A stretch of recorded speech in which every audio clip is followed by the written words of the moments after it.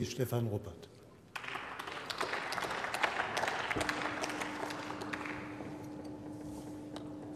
Herr Präsident, meine sehr geehrten Damen und Herren! Zunächst einmal finde ich es ausgesprochen gut, dass wir an so prominenter Stelle über die Wurzeln der frühen Bundesrepublik reden, über Fragen von Kontinuität, personell und inhaltlich. Es ist das, reife Zeichen einer gefestigten Demokratie, dass sie mit ihrer eigenen Vergangenheit souverän und auch durchaus selbstkritisch umgehen kann. Insofern finde ich, dass diese Form der Vergangenheitspolitik, um den Historiker äh, Norbert Frey zu zitieren, für einen reifen Rechtsstaat die angemessene ist. Ich freue mich auch über die Gemeinsamkeit mit den Sozialdemokraten in dieser Frage. Es ist doch gut, wenn wir die Gemeinsamkeiten in solchen Themen besonders betonen, alle zeigen, dass es uns darum geht, uns diesen Kontinuitäten zu stellen und sie nicht nutzen, um uns gegenseitig zu bezichtigen, dass der eine das besser und der andere das schlechter macht. Es ist doch unstreitig, dass in der frühen Bundesrepublik eine erhebliche Kontinuität personell bestanden hat. Wo sollten auch all die Menschen gewesen sein, die zwischen 33 und 45 in der einen oder anderen Form mitgewirkt haben. Sie verschwanden nicht einmal auf einmal, sondern sie waren natürlich an gewissen Stellen und ähm, haben die Kontinuität in Verwaltungen, auch Ministerien geprägt. Das ist unstreitig. Auch wir als Parteien haben natürlich Kontinuitäten. Meine Partei kann ich zum Beispiel sagen, erforscht das gerade, dass es in Niedersachsen, aber auch in Nordrhein-Westfalen durchaus Ortsverbände gab, wo die Zahl an Nationalsozialisten besonders hoch war, wo es keine kritische Distanz gegeben hat.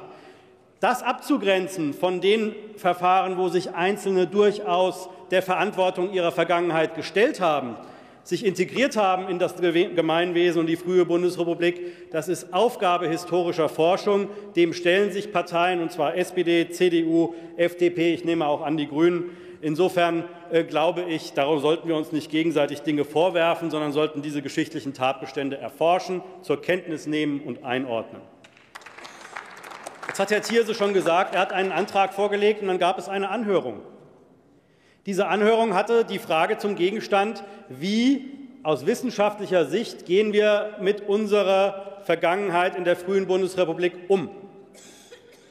Und dann war es interessant, dass die Sachverständigen, Herr Professor Möller, Herr Professor Stolleis, beispielsweise uns empfohlen haben, einerseits den Aspekt, der in Cortes Rede im Vordergrund stand, die personelle Kontinuität zu untersuchen und andererseits genau zu gucken, warum ist es der jungen Bundesrepublik gleichwohl gelungen, sich als Rechtsstaat zu etablieren? Warum hat es dieses Gemeinwesen vermocht, trotz bestehender Kontinuitäten im Einzelfall eben einen modernen Rechtsstaat heutiger Prägung aufzubauen. Welche Strategien hatten die einzelnen Beamten? Waren sie wirklich bereit, innerlich mitzuarbeiten am Aufbau eines demokratischen Rechtsstaats und einer äh, sozialen Marktwirtschaft? Oder haben sie inhaltlich ihre Agenda zum Teil weiterverfolgt? Das sind Fragen, die uns genauer, die genauer betrachtet werden und die uns interessieren müssen, nicht das Zählen von Fliegenbeinen. Dieses Ministerium hatte mehr als das andere oder äh, in dieser Behörde gab es mehr als in der anderen. Das sind Verständnisfragen, die uns über unser Selbstverständnis etwas aussagen und nicht reine quantitative Angaben. Offen gesagt ging es mir wie Herrn Thierse in der Rede. Es ist doch schon bezeichnend. Ich meine, Sie sagen, es gab keine personellen Kontinuitäten. Ich will mal erinnern an äh, in höchsten Ämtern, haben Sie gesagt, in höchsten Ämtern. Dann frage ich Ihnen, welche Funktion hat ein stellvertretender Chefredakteur des Neuen Deutschlands? Welche Funktion hat denn beispielsweise ein äh, Generalfeldmarschall Paulus in der DDR gehabt? Also natürlich gab es das und es gab auch andere. Ja, Entschuldigung, dann verwende ich es so. Es gab auch in höchsten Positionen solche Kontinuitäten.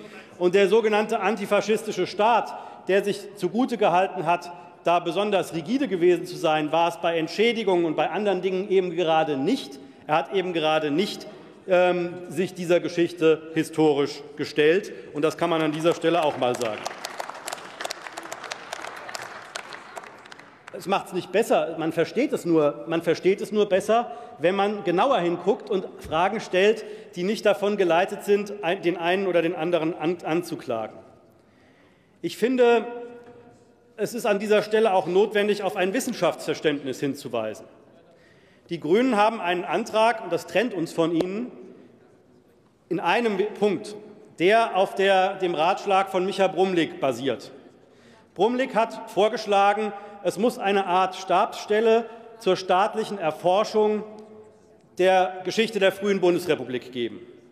Alle anderen Sachverständigen von Hannah Arendt Institut über Institut für Zeitgeschichte, Max Planck Institut für europäische Rechtsgeschichte haben gesagt, unser Problem ist nicht, dass der Staat in einer Art historischen Auftragsforschung vorgehen soll, sondern unser Problem ist viel eher, dass die Historiker nicht den adäquaten Quellenzugang bekommen. Die Wissenschaft stellt die richtigen Fragen selbst so Professor Stollers oder auch Professor Möller. Und das ist ein Unterschied, ob wir als Politik die Fragen stellen, die wir für interessant halten, oder ob wir Zeithistorikern sagen, wir ermöglichen euch, eure Fragestellungen anhand des vorhandenen Quellenmaterials zu verfolgen. Ich glaube, aus diesem zweiten Verfahren kommt mehr historische Erkenntnis als aus dem Brummeligschen Ansatz, den ich in vielen Aspekten durchaus verstehe.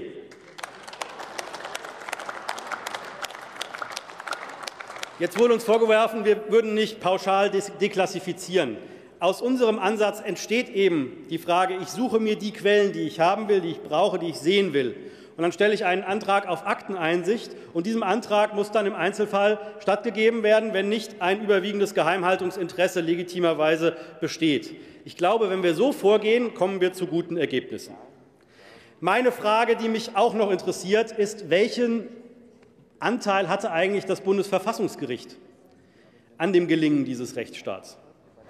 Es ist doch interessant, dass gerade Urteile wie das Lüth-Urteil, aber auch wie durchaus das KPD-Verbotsurteil, aber auch das SAP-Verbotsurteil, wie das Starkmachen von subjektiven Grundrechten dazu beigetragen, der Religionsfreiheit, der Meinungsfreiheit, dazu beigetragen haben, dass dieser Staat gelungen ist. Und deswegen ist es richtig, dass der Rechtshistorikertag sagt, wir müssen verstehen lernen, was das Bundesverfassungsgericht in den Anfangsjahren seines Bestehens geurteilt hat. Dabei gilt es, Beratungsgeheimnisse zu schützen. Dabei gilt es darauf zu achten, dass lebende Personen ähm, mit ihrem Datenschutz legitime Interessen haben. Aber wir wollen eben hineinschauen in diese frühen Akten, und auch das beinhaltet unser Antrag. Da kann man es nur nicht so machen wie die Linken, da sind wir ja zum Teil deckungsgleich, dass man dem Bundesverfassungsgericht als einem anderen obersten Verfassungsorgan diktiert, ihr müsst das so, so, so und so machen, sondern wir machen es so, dass wir das Gespräch mit dem Gericht suchen, um zu zeigen, dass wir an seiner Aufarbeitung der Geschichte auch ein erhebliches Interesse haben. Das ist das notwendige, ähm, der notwendige Dialog zwischen obersten Verfassungsorganen und nicht das Dekret sozusagen von hiesiger Seite.